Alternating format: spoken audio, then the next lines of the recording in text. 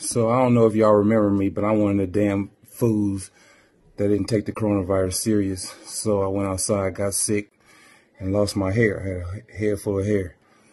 Um, well, now they prescribed me a vaccine for the coronavirus that I got right here, and I'm gonna take it. And it's supposed to make me feel better and grow my hair and everything back. So we're gonna try this and see what happens.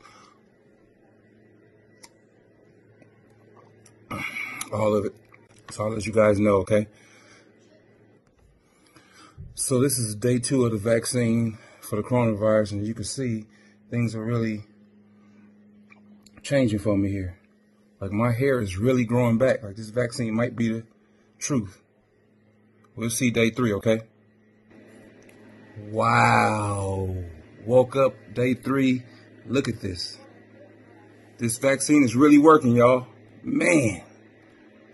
Y'all talking about don't trust the white man. Man, look at here. This is day four. I don't really know what's in this vaccine, but wow. Man, I am so happy, man. Can't wait to go outside again when this is all over. But uh, as you can see, I even got a part right here. Oh, man, I'm looking like Frederick Douglass, man. I'm loving this. Wow.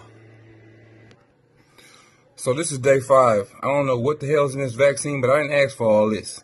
Now I look like the nigga from the Whispers. This is some bullshit.